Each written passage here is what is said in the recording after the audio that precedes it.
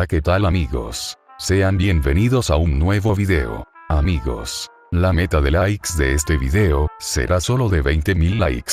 Espero que podamos cumplir la meta de likes, para subir el siguiente video. También recuerden, que ya tenemos activa la opción de correo electrónico, para poder estar en contacto con ustedes, y así poder recibir sus aportes para futuros videos. Así que sin más que decir, comencemos.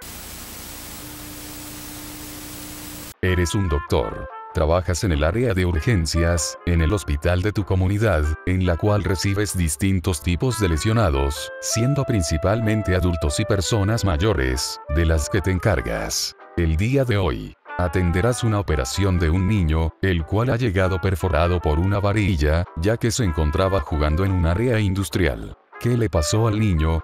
Se cayó dentro de una construcción, y quedó atravesado por la varilla. De acuerdo. Al quirófano.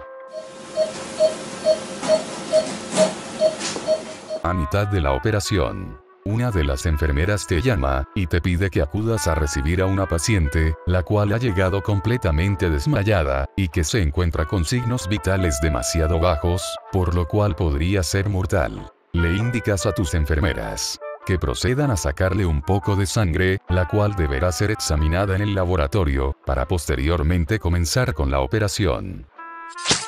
Vaya. Creo que ya sé qué es lo que tiene, parece que se le bajó el azúcar.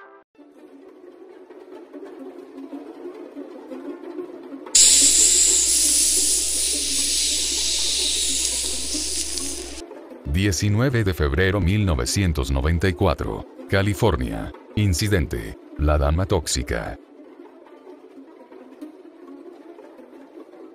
Enviado por Rubén.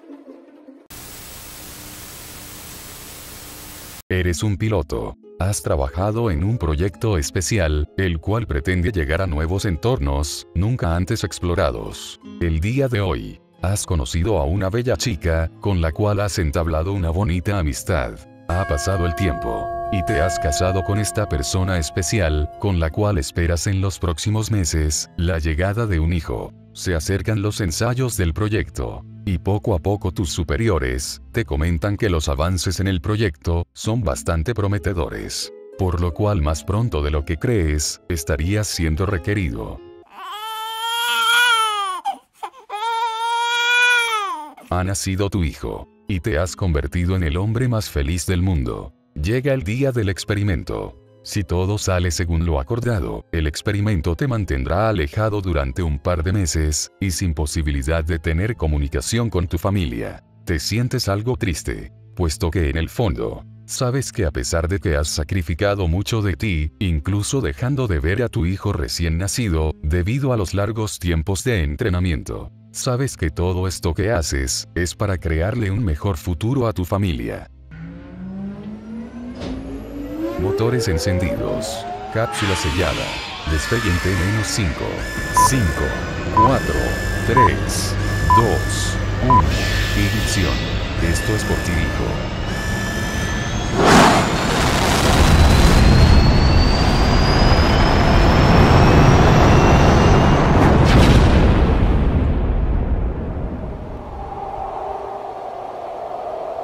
27 de enero 1967. Cabo Cañaveral. Incidente. El Apolo 1.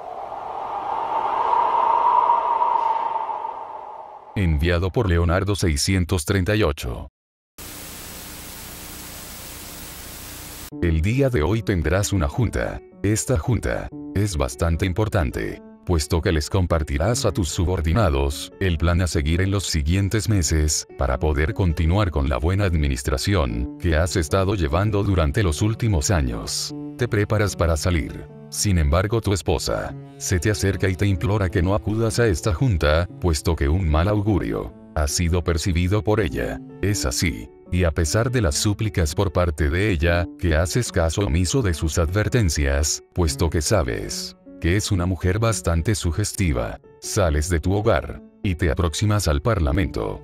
Llegas a este, y notas que muchos de tus subordinados se encuentran listos para escuchar tu discurso. Acabas tu discurso, y procedes a retirarte. Parece que no te retiraste a tiempo. 44 a.C. Roma. Incidente. Julio César.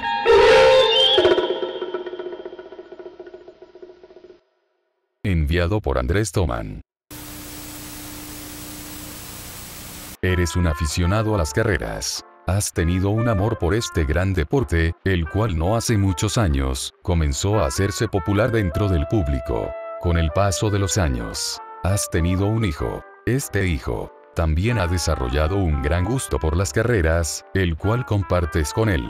Una nueva carrera se aproxima. Y para sorpresa de todos, esta carrera se llevará a cabo cerca de tu ciudad. Es por ello, que has decidido que llevarás a tu hijo a esa carrera, puesto que te lo ha pedido como regalo de cumpleaños. Llegan a la carrera, y proceden a entrar. Vaya. Nunca me contaste que las pistas de carreras, fueran tan grandes papá. Así es hijo. Quería que todo esto fuera una sorpresa para ti, como lo fue para mí.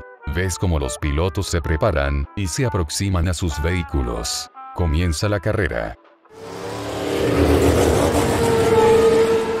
La competencia ha estado bastante reñida, puesto que varios pilotos han estado ganando y perdiendo posiciones. Comienza la vuelta final, y los autos se aproximan a la línea de meta. Mira papá, ahí viene mi piloto.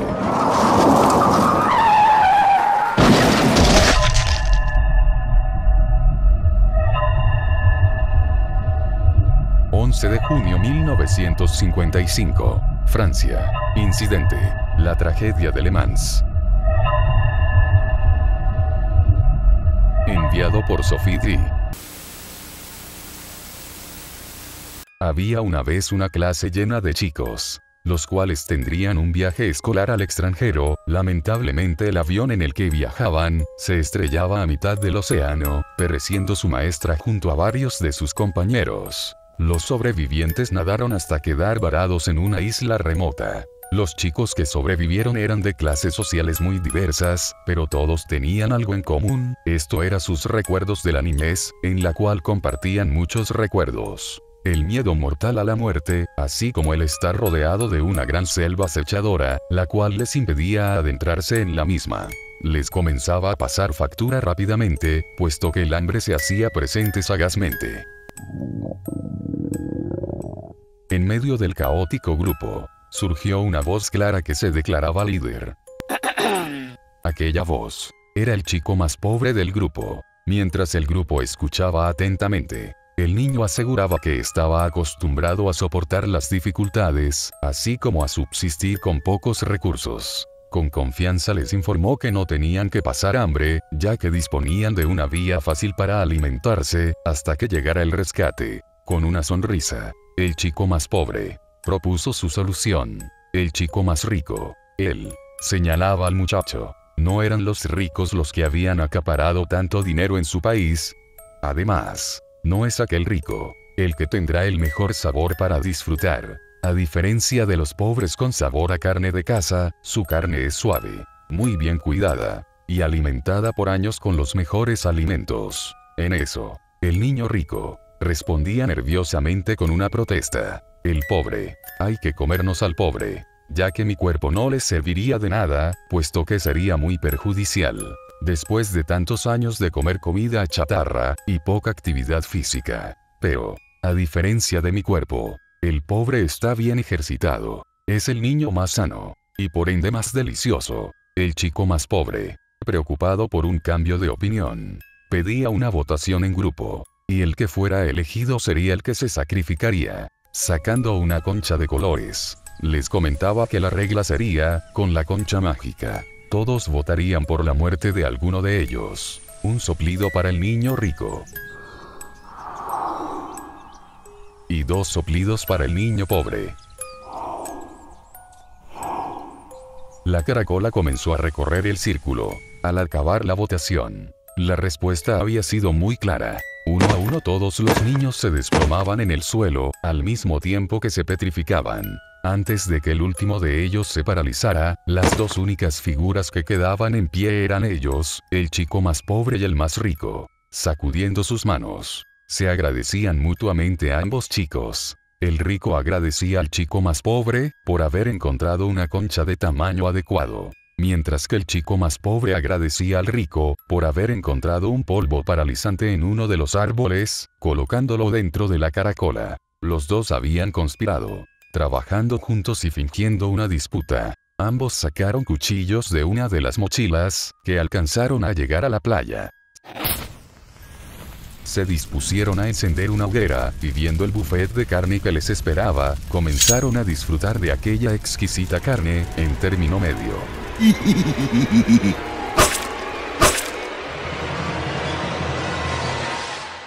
...1986... Nueva Zelanda. Incidente. Los chicos de la clase 11. Enviado por Luis Manuel Díaz Sánchez. De acuerdo amigos. Este ha sido el video de hoy. Recuerden que la meta de likes para este video, es de solo 20.000 likes. Espero que podamos cumplir esta meta, para poder subir la siguiente parte. Así que sin más que decir, nos vemos en un siguiente video. Chao.